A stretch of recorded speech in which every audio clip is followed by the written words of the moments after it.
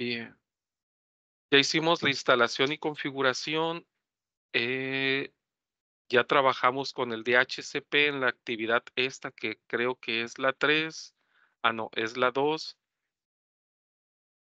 Esta actividad, la que dice parte 2. Sí les funcionó a todos. Quisiera que me respondieran para darme una idea de cómo van o, o en dónde se están quedando ustedes o dónde se les está atorando. Ya vi que lo, en los videos que varios sí lo terminaron, pero veo que todavía quedaron falta, quedaron faltando, pues. Ahorita llevo tres de la actividad de la semana pasada que han enviado. Entonces, sí sería bueno que me vayan diciendo en qué se les atora para irles ayudando sacando la duda ahorita. Si no, continuamos con el siguiente tema. El siguiente tema es algo muy, muy sencillo, es el IP Tables y está dentro de la parte 3.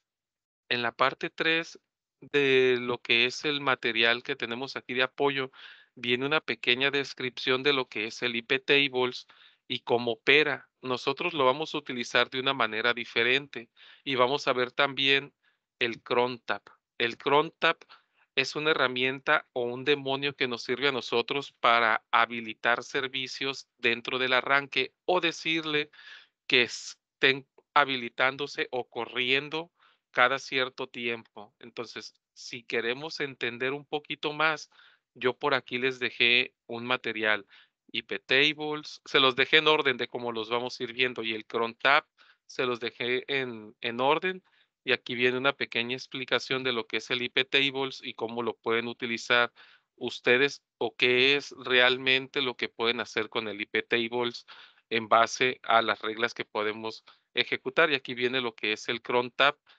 Solamente es la edición de un archivo en donde nosotros podemos cargar por medio de un usuario una ruta de un archivo, un script, que es lo que vamos a hacer el día de ahora para que este script esté corriendo. Entonces, vamos a tomar de base nosotros el material que tenemos en la página web mía. En De Santana nos vamos a la página en docencia talleres y por acá vamos a encontrar algo que se llama IP Tables por aquí arriba, IP Tables y por acá tenemos Cronta. Estas dos pestañitas las vamos a dejar abiertas para trabajar con ellas. Entonces, IP Tables, pues es una herramienta que nos sirve a nosotros para poder dar acceso a la red a los equipos que están dentro de él o permitir o denegar el acceso a las diferentes interfaces de red que nosotros tengamos en nuestro equipo. En este caso nosotros tenemos dos, la ENP0S3 y la ENP0S8. Son los dos adaptadores de red con los que contamos ahorita en nuestra máquina virtual. Entonces, aquí voy a aprender yo mis servidores que tengo por acá en la escuela, bueno, el, el server, y voy a aprender el cliente.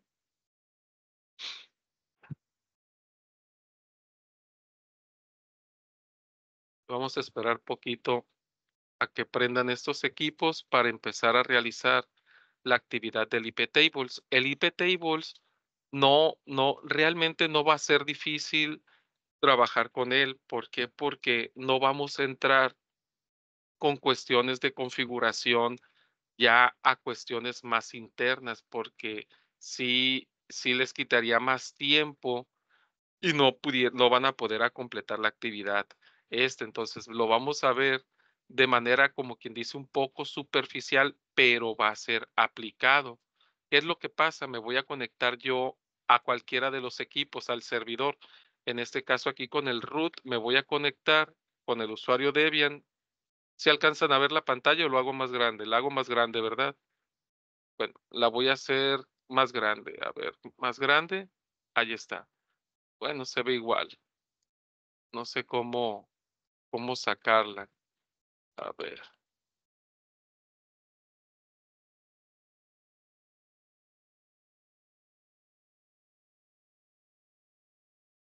A ver, voy a dejar de compartir. Uh, desconectar, conectar. Bien, así la voy a dejar porque luego batallo. Voy a poner, no sé, la, la lupa o algo para que se vea más, Más grande. Bien.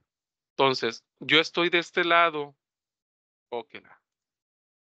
Estoy aquí en el server. Si yo le tiro ping, ok.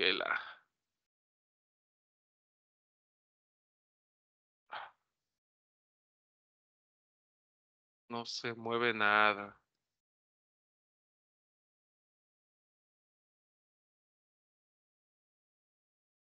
Me voy a desconectar otra vez.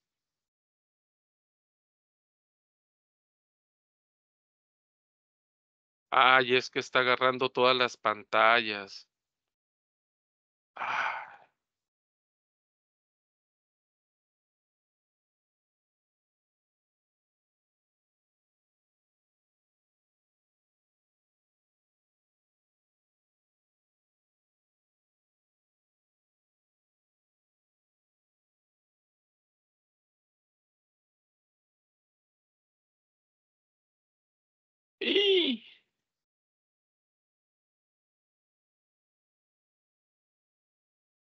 No puede ser.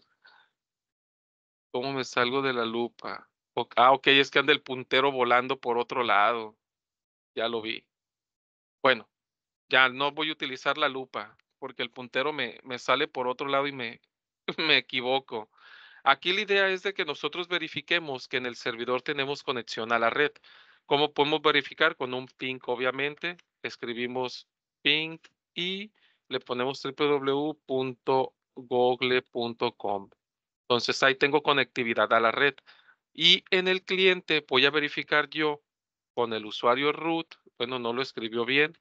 Voy a poner lo que sea.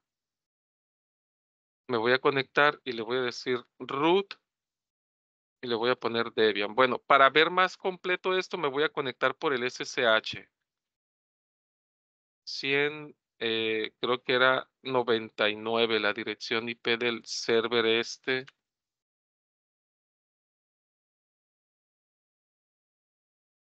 No veo, creo que es 199. 199 open. No alcanzo a ver la, la dirección IP.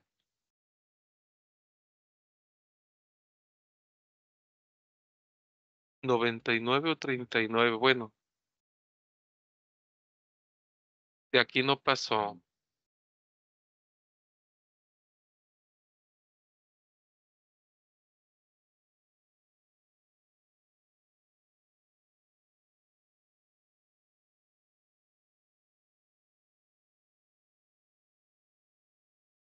¿Qué IP le puse? ¿No se acuerdan? IP, nano, diagonales, que es que no lo veo. Network.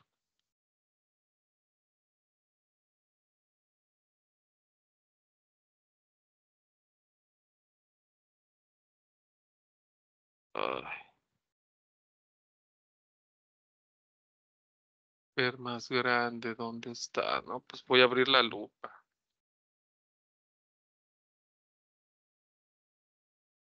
Es la 199. Ah, lo que pasa que está dentro de VLAN y no me puedo conectar al, al equipo. Ok. Ya entendí. Bueno, entonces vamos a hacerle así, pero sí tendría que verlo con el con el PUTI directamente, sí tendría que verlo. 192, 168, 199.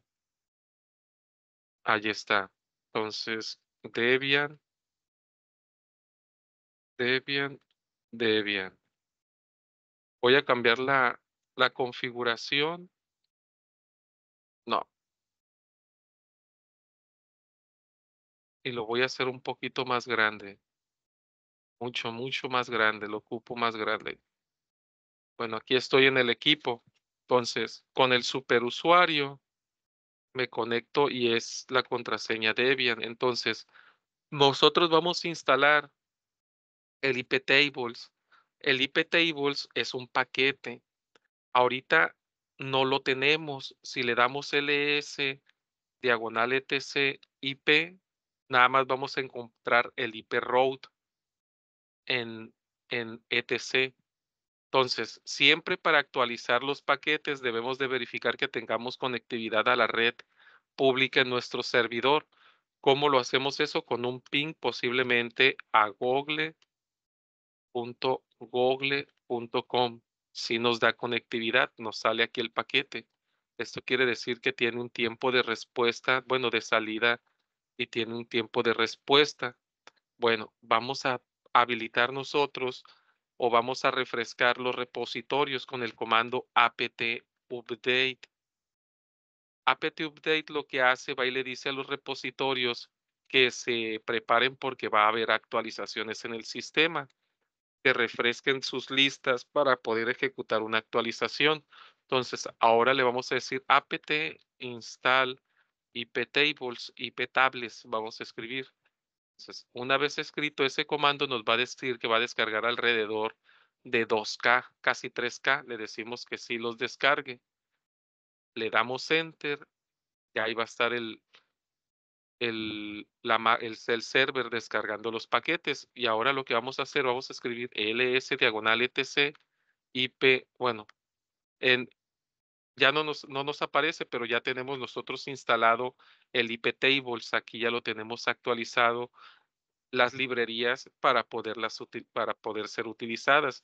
Entonces, la idea de esto es de que nosotros nos vayamos a un directorio del sistema. Ese directorio del sistema pues va a ser diagonal etc. En cd diagonal etc nos vamos a posicionar y en ese directorio vamos a crear un directorio que se llame iptables. Podemos crearlo aquí o lo podemos crear en el del usuario root, como ustedes gusten. Bien, mientras ustedes recuerden dónde es donde van dejando los archivos, mejor. Bueno, le vamos a decir aquí mkdir y le vamos a decir ip iptables. Así tal cual. No batallen ya se creó el directorio, nos vamos, metemos al directorio con cd iptables, estamos dentro de él y si se fijan no hay nada, está vacío. Lo que vamos a hacer nosotros, vamos a escribir unas líneas de código. Esas líneas de código van a ser las que están aquí en la página. Esas líneas de código dicen aquí que va a trabajar con archivos del sistema relacionados a iptables, donde va a operar el iptables, va a operar el NAT, va a trabajar las, las conexiones que se ejecuten por FTP y va a habilitar el nateo que se pueda dar por FTP, el redireccionamiento junto con el cron track y el filtrado de direcciones IPs que vengan y un elemento importante. Los elementos importantes aquí que nosotros ocupamos básicamente es iptables, iptablenat y ocupamos el redirect, el filter y el break. Son los que ocupamos de los que están aquí. ¿Por qué? Porque lo que vamos a hacer es de que este equipo le pase internet al equipo que está en la red interna al equipo que tenemos de este lado. Este equipo que tenemos de este lado, nosotros no nos podemos conectar por el PuTTY. Me tendría que conectar otra vez por medio de este equipo. Me voy a conectar. Debian. Debian. Y por acá me voy a conectar por SSH al equipo de este lado, que no recuerdo qué IP le puse. Ahorita voy a batallar otra vez, no me acuerdo cuál IP le puse o creo que sí, está acá en el DHCP nano, diagonal, etc, DHCP, DHCPD.conf. Aquí al final ya sé que es la 101160. Bueno, me voy a conectar a este equipo que tengo acá de este lado, el cliente, me voy a conectar por SSH. Desde acá, SSH, le pongo Debian, arroba, 110 1160 y me va a pedir una llave, un SHA de 256, le decimos que sí. Y ponemos el password, es Debian. Entonces, IP ADDR para ver la dirección IP nos dice que estoy en un equipo que tiene la 10.1160. Yo ya estoy conectado por medio de este servidor a este equipo de este lado, porque no, de aquí no voy a alcanzar a ver las letras para empezar y ustedes tampoco las van a ver. Entonces, el que tengo del lado derecho, si yo le tiro ping a www.google.com, no va a encontrar salida, se va a quedar muerto, no va a saber qué hacer, a pesar de que tengo un direccionamiento IP y a pesar de que tengo una configuración dentro, dentro de diagonal etc en el archivo resolve.conf, que es lo que dice la regla que debo de tener para que pueda operar el Internet dentro de este equipo. Pero resulta que aquí no existe una regla de enmascaramiento dentro del servidor. Dentro del servidor, si nosotros agregáramos esta regla, el equipo del otro lado tuviera internet. Pero no solamente vamos a arreglar esta regla, agregar, sino que vamos a agregar todo el bloque que se encuentra aquí. Lo vamos a copiar y lo vamos a pegar en un archivo que se va a llamar iptables.sh. Vamos a crear ese archivo con ese nombre, con iptables.sh. Dentro del, del, del equipo con el cual estamos trabajando como servidor, le vamos a decir nano iptables.sh. Le damos enter y allí vamos a pegar las líneas de código. Entonces, estas líneas de código a nosotros nos van a servir para poderle dar salida al Internet a los dispositivos que estén en esta línea. Esta línea que está aquí hasta el final es la línea importante.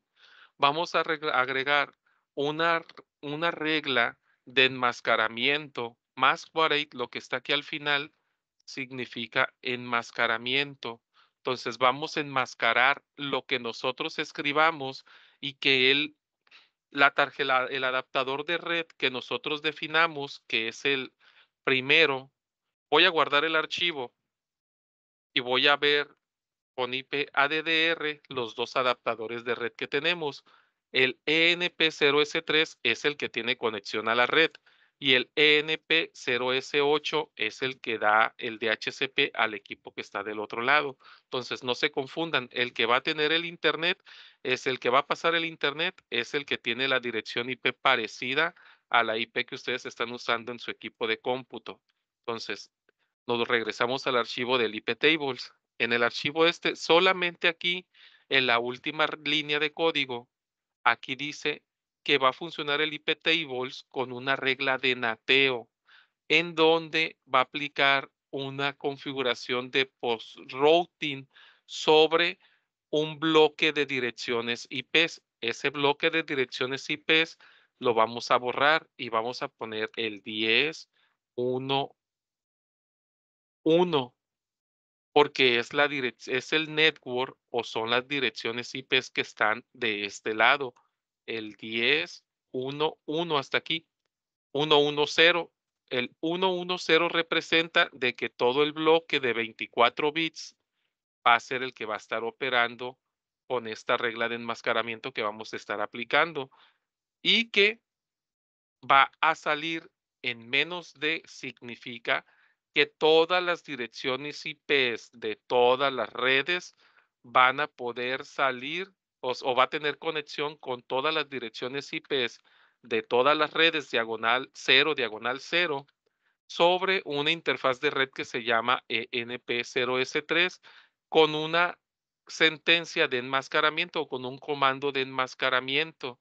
Eso quiere decir que va a tener conexión al Internet el otro equipo o el network que yo ponga aquí. En este caso voy a ponerle la dirección IP 60 para hacerlo más práctico. Entonces, en lugar del diagonal, todo eso, yo, lo, yo puedo borrarlo. O igual lo puedo dejar en el cero. Vamos a dejarlo así y le vamos a dejar el 60. Le doy guardar al archivo y le digo que si, guarde, si me guarde los cambios. Ahora, no va a funcionar por sí solo. Es por eso la idea de estas dos actividades de ahora. El iptables, yo ocupo ejecutar un comando. Ese comando se llama bash. Bash significa que se va a ejecutar por consola un archivo que requiere permisos y que es de procesamiento por lotes. Entonces escribimos bash iptables.sh. Vamos a voltear acá de este lado. Le voy a tirar ping a Google. Lo voy a dejar así tirando ping. No hace nada. Voy a ejecutar este archivo y acá voy a volver a ejecutar el ping y vamos a ver qué es lo que pasa.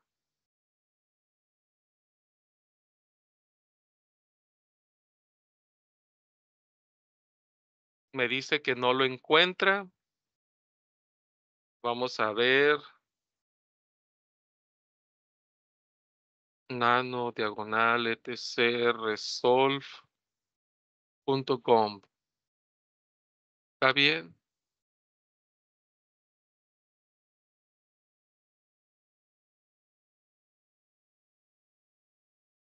Ahí encuentra ya lo que es el Google por medio de la dirección IP. Vamos a darle ping was.edu.mx. No lo encuentra. Ok, entonces dentro del IP tables, aquí a nosotros nos está haciendo falta el bloque del broadcast 255, 255, 255.0. Le decimos que sí y le decimos otra vez al IP tables que vuelve a ejecutarse.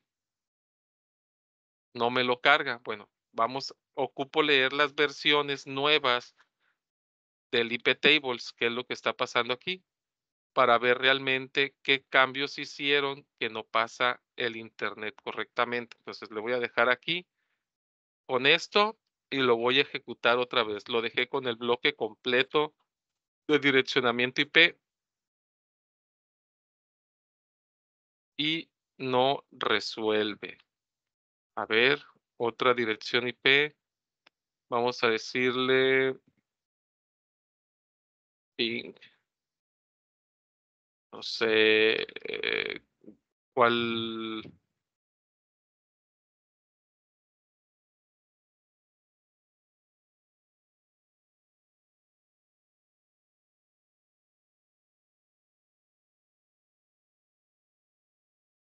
fallo temporal en la resolución del nombre, ¿ok? Vamos a editar y comentar este así.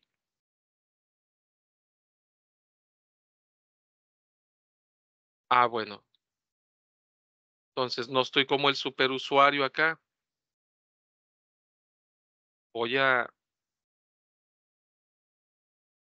voy a editar el archivo nano diagonal etc resolve.conf. Voy a comentar este y voy a dejar ese DNS nada más y voy a decirle ping www.google.com.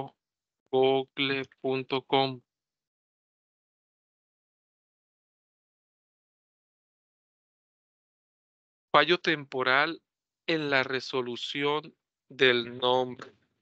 Pero si yo le digo ping y lo encuentran. Entonces hay un error aquí en el IP tables.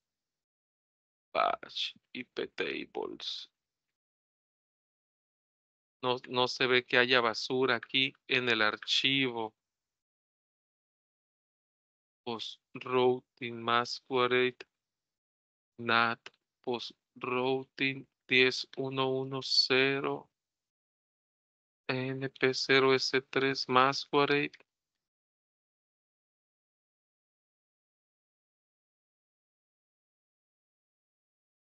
no se ve basura.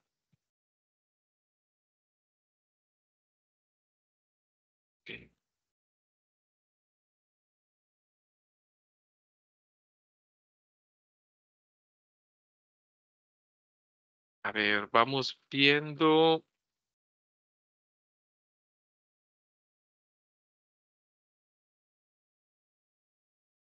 Si lo ve.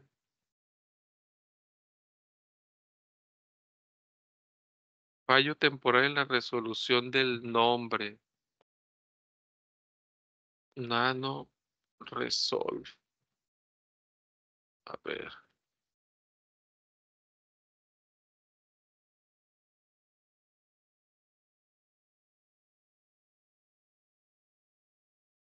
Ciento cincuenta y cuatro.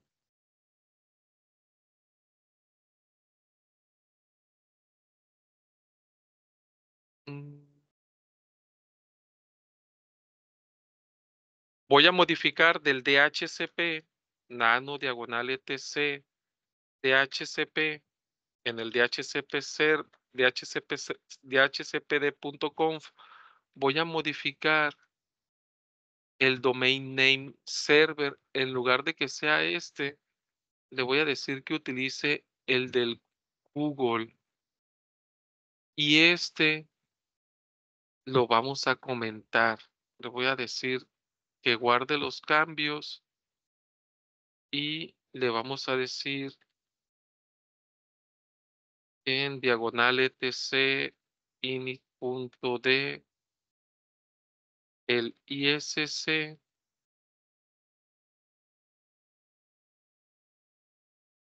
bueno system ctl ISC DHCP server.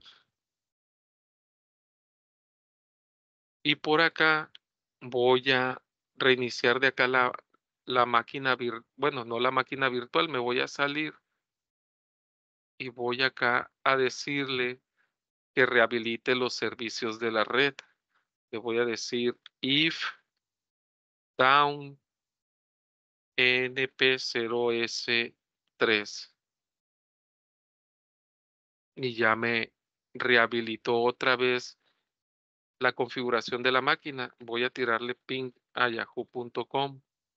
Me dice fallo en la resolución, entonces tengo alguna regla posiblemente yo dentro de la red que no me permite hacer esto. Entonces vamos a escalar con una IP, una 148.27,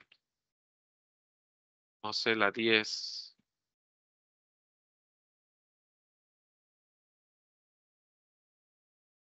Ok, la red es inaccesible.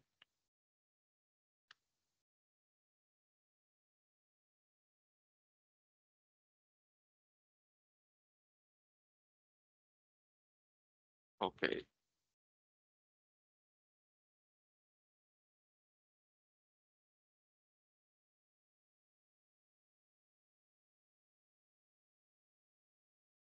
Ok, ya recibe, ya recibe internet nuestro equipo.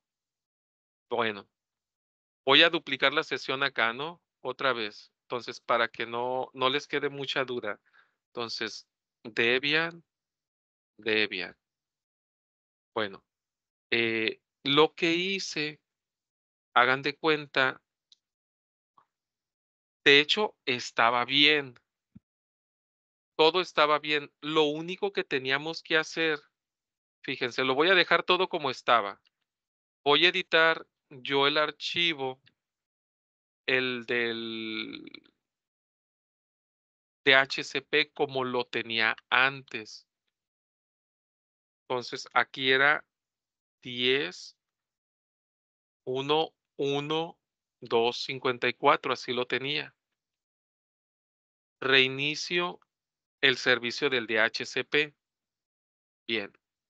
Y aquí lo que yo debo de hacer es nada más cuando reinicie, cuando aplique, una vez que yo haga el IP tables, tengo que irme al equipo, al server y decirle if down enp0s3, el adaptador de red del equipo.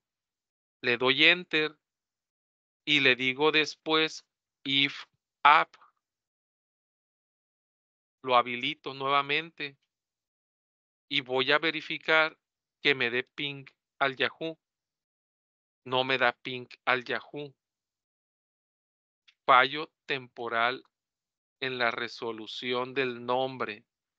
Entonces, fimas.net, el servicio del DNS de búsqueda y consulta está mal configurado. ¿Por qué? Porque no existe, todavía no lo tenemos configurado. Entonces vamos a editar esta línea de código y la vamos a desactivar. Esta, la que dice fimas.net. Le damos Enter y reiniciamos el servicio del DHCP.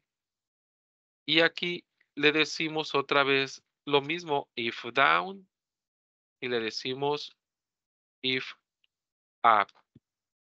Y verificamos que tengamos ping, no tenemos ping con el Yahoo. Vamos a ver nano diagonal etc resolve.conf ya nos está dando el 10.1.1.254. Aquí tenemos un problema nosotros porque esta dirección IP no nos está resolviendo o él no conoce dónde están los equipos o los nombres que estamos escribiendo. Entonces, vamos a editar el archivo del DHCP 10.1.1.254. Voy a ver las tarjetas de red. IP ADDR. Muy bien. E, es la, la segunda tarjeta de red, la ENP0S8. Bueno, este, en lugar de ser el 10.1.1.1, lo vamos a cambiar temporalmente por el del Google y vamos a dejar todo lo demás como fimas.net. Reiniciamos el servicio del DHCP y hacemos lo mismo con nuestro adaptador de red. Lo deshabilitamos y lo habilitamos nuevamente y vemos si tiene conectividad con el Yahoo. Ya tiene. ¿Qué es lo que pasa? Lo que pasa que en el servicio del DNS de búsqueda está FIMASNet y ahorita de momento no tenemos un DNS configurado que va a ser una actividad que vamos a hacer más adelante. Entonces, para la actividad esta, para que les opere ustedes, lleguen y lo primero que van a hacer va a ser editar el archivo del DHCP. Y aquí donde dice Option Domain Name Servers, van a poner el del Google, el del 8888, ese lo van a poner. Y no le van a mover a nada más lo guardan, reinician el servicio con systemctl, restar ISS DHCP server y ya queda listo, ya no le van a mover a nada. Y lo segundo que harían es crear un en diagonal etc, diagonal IP tables, ese directorio, en diagonal etc el directorio que se llama IP tables con el contenido que está aquí, tal cual, para que le pase internet a la red que está debajo de él por la interfaz de red, la ENP0S3. Si ustedes tienen un adaptador de red, el que hace bridge con la red local de ustedes, pongan el nombre correctamente aquí, cámbienlo. Puede que a alguien le aparezca un nombre diferente, lo pone, guardan el archivo y ya prueban la, bueno, lo corren ejecutando bash iptables.sh. Ese comando les va a servir a ustedes para correr el archivo de procesamiento por lotes y ya van a probar ustedes la conectividad al internet del equipo tirándole un ping a cualquier sitio de la red. ¿Va bien? Entonces, nosotros ya tenemos el IP tables operando. Ese IP tables, si apagamos la computadora nosotros, o el server se nos apaga, va a dejar de funcionar. La idea es que nosotros ese servicio o ese demonio que tenemos del IP table siempre esté habilitado o siempre esté corriendo. Para eso nosotros tenemos una herramienta que se llama crontab. En crontab eh, nosotros vamos a hacer algo sencillo. En el crontab nosotros vamos a editarlo, lo vamos a editar y vamos a agregar la ruta donde se encuentre el archivo del IP tables. Está sencillo, es de la siguiente forma. Entonces, si yo ahorita apago el servidor, el internet, cuando se reinicie al equipo que está o los equipos que estén obteniendo una dirección IP por DHCP no van a tener internet. Por más que quieran, no van a tener porque el enmascaramiento no va a estar corriendo. Entonces, el crontab vamos a editarlo. Vamos a escribir el comando nano diagonal etc. Todos los servicios o los demonios se encuentran en diagonal en TC. Es importante que se aprendan la estructura de, los archivos del sistema para que más adelante ustedes puedan entender cómo operan los demás demonios que se están utilizando en Linux. Entonces, diagonal etc. Y vamos a buscar el que dice cron. crontab. Es el archivo. Lo vamos a abrir. Y aquí hasta abajo vamos a agregar una pequeña línea. Esa línea va a hacer referencia a de que cada momento se va a estar actualizando el, en este caso, el archivo del, del IP tables. Entonces, vamos a decirles que a cada momento se esté ejecutando el IP tables. Entonces, aquí nos dice que el primer asterisco representa que cada minuto, en el minuto 0 al 59, yo puedo poner del 0 al 59 un valor. De que entre la hora de la 0 al 24, si yo le pongo en el minuto 1 de la hora 1, del día 1, del mes 1, del día de la semana, que tal día así, tal cual, ejecute el cron tab. Entonces, esto es que siempre se esté ejecutando o podemos poner los valores representativos al minuto, la hora, el día, el mes o el día de la semana. Si queremos que cada semana empezando con el qué día inicia la semana con el domingo, pues que el domingo inicie su respaldo. El día 1 sería el día 2, el día 3 y así sucesivamente. Es como nosotros podemos eh, irlo configurando. Entonces, lo que vamos a hacer nosotros es poner cinco asteriscos y vamos a poner que sean ejecutados por un usuario cinco asteriscos, un usuario y el nombre del archivo. ¿Va? Entonces, eso hay que hacerlo.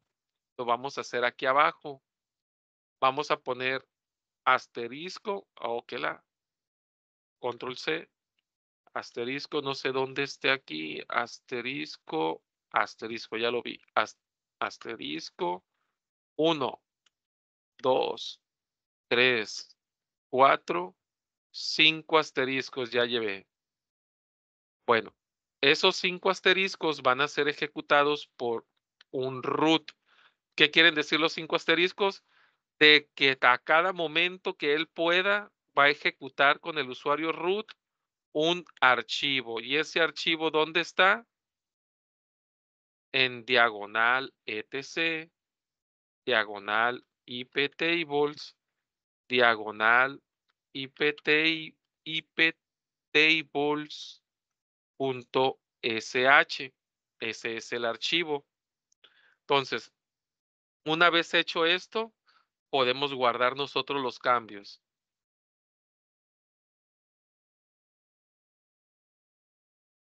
Guardamos los cambios y le decimos que sí y listo.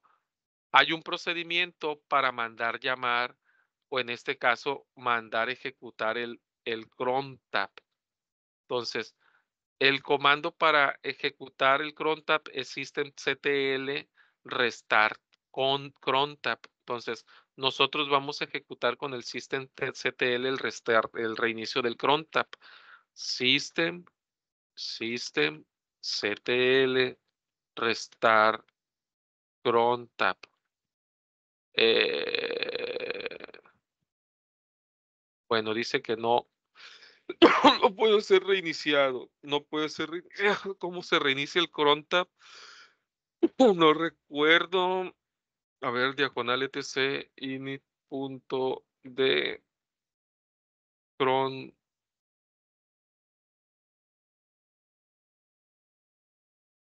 Ah, restart. Ya. Diagonal etc init punto de cron restart. Ya se reinició el cron tab y esto pues ya me sirve a mí o va a decirme que siempre que yo necesite tener internet en los equipos, cuando pues, se apague el servidor, siempre va a estar disponible. Igualmente, aquí viene un pequeño ejemplo de cómo ustedes pueden hacerlo. Este es un ejemplo que yo allí les dejé nada más de ejemplo para que ustedes puedan ejecutarlo. Pero el ejemplo real es con el IP tables, porque yo voy a apagar el servidor. Le voy a decir sudo init 0. Le voy a decir y aquí se apagó el servidor. Por acá ya me desconectó y el servidor principal ya se apagó. Voy a ver si puedo tirarle ping a Google. No puedo tirarle ping a Google. Voy a prender la máquina virtual, la del server, y vamos a esperar a que nos dé respuesta este equipo o que tenga conectividad con lo que es el Internet. Aquí le voy a dar Enter para que prenda más rápido. No tuvo conexión. Está arrancando, está arrancando. Y aquí.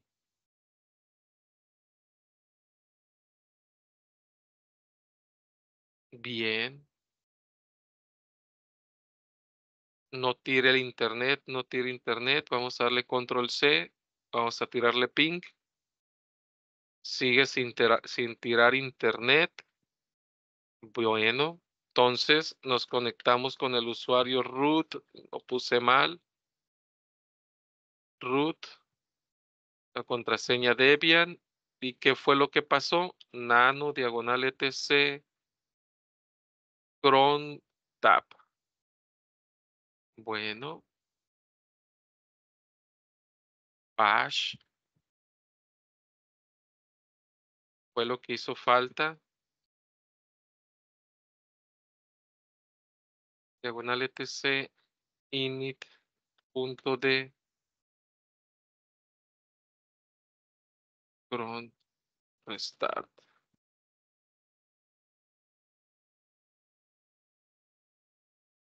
Vamos a decirle aquí init 6 para que se reinicie.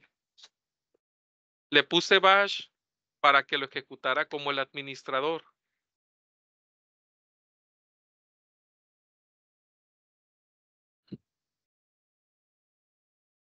Para que lo ejecutara como administrador de un archivo de procesamiento de lo por lotes.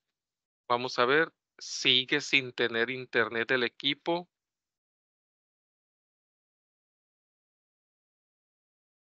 A ver, root, se me fue una o demás, Debian. Fallo temporal en la resolución del nombre. Bash. Diagonal etc. IP tables. IP tables. Punto. A lo mejor escribí mal el archivo. Pueden ser varias cosas. A lo mejor escribí mal la ruta del archivo. Entonces, eso hay que verificarlo. A lo mejor escribí mal la ruta del archivo y por eso no lo, no lo ejecuta.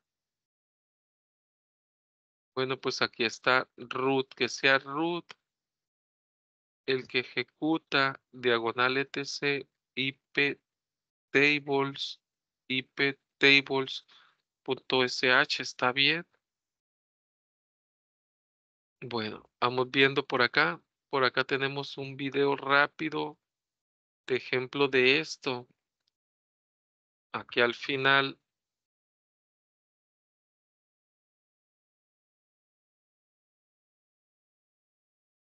Este es.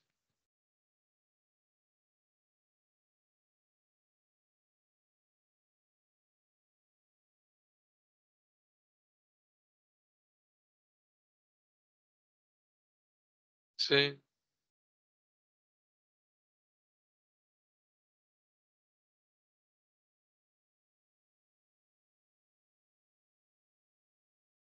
Sí, aquí lo tenemos todo bien. Son cinco.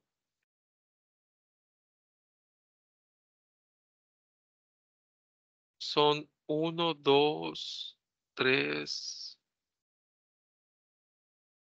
cuatro, cinco. No es que sí están bien. Uno, dos, tres, cuatro, cinco el usuario root.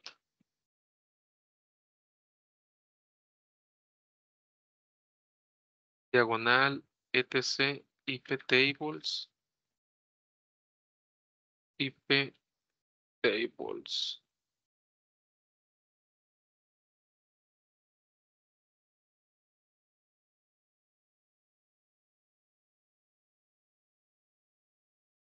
Voy a, voy a verificar qué es lo que pasa en la versión 12.5 con el IP tables porque no deberíamos de, de tener este problema.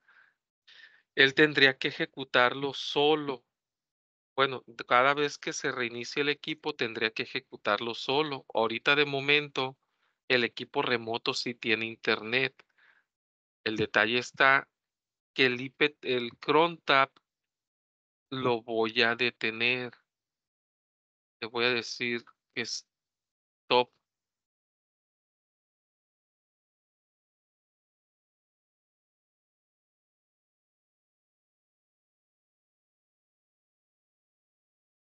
Y le voy a decir que lo inicie. Y voy a reiniciar el equipo. Otra vez le voy a decir init 6. Voy a dejarlo acá con el ping del Google, del Google a ver si lo, si lo alcanza a leer. Si no, lo dejamos así y ya para la próxima sesión yo les digo qué es lo que pasa con el cron tab de la versión 12.5 porque se hacen cambios y en ocasiones no nos percatamos nosotros de cuáles fueron esos cambios realmente. Entonces tendría que verificar, pero ahí está, miren, ya jaló. Entonces, debe de funcionar. debe de funcionar porque posiblemente yo escribí una letra mal. Como no, no veo muy bien, estoy aquí en la casa, no veo muy bien y estoy conectado a una PC remota, a lo mejor se me fue una letra de mal. Entonces, el IP tables, lo único que van a hacer ustedes es agregar la línea de donde ustedes guardan ese archivo de configuración de procesamiento por lotes, ese punto SH que tienen ustedes. Y esto sería la actividad que van a entregarme ustedes en lo que va de la semana. Entonces, con este material ustedes van a hacer esta actividad, la parte 3, que es IP Tables, y el Chrome Tab. Aquí viene explicado qué es cada uno de ellos y cómo opera. Entonces, aquí hay un video de ejemplo de las sesiones de la, de la LISI virtual del año pasado. Hay videos en el canal del YouTube mío y aquí les voy a poner el video de la eh, de esta sesión ya que lo ya que se maquel, ya sé que ya que se compile bien allí en el Teams, lo descargo y lo pongo aquí para que ustedes lo vean y se los voy a dejar aquí abajo como les estoy dejando los demás videos. Es la actividad que ustedes van a tener esta semana. ¿Creen que la puedan hacer? ¿Está difícil? A ver, díganme.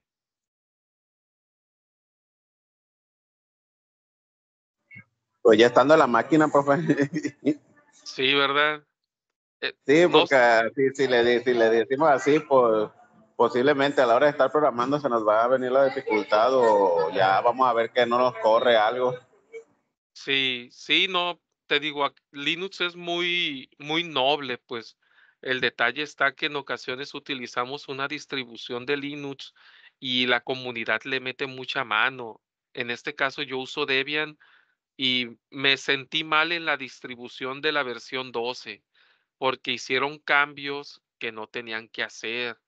Entonces todo iba muy bien y yo ya me había casado, ya tenía, desde que inició, ya tenía como 12 años utilizando Debian, 12, 13 años, te digo, ya es muchísimo tiempo como sistema base para servidores. Entonces, eh, entiendo que hay necesidades y cambios que, que con, o sea, que traen beneficios, ¿no? pero han hecho cambios que no deberían de hacer, pues porque ya está adecuado uno a una forma de trabajo y de repente cambian una librería o cambian un, un demonio o le agregan algo nuevo y lo quitan de la carga del sistema y ahí es donde nosotros terminamos batallando. Entonces, ahorita posiblemente lo que me falló a mí fue una letra que escribí mal y en el DNS yo tuve un error ahí no tenía que haber puesto la dirección IP del equipo, eh, de, en este caso del gateway, porque no hay todavía aún un servicio de DNS instalado.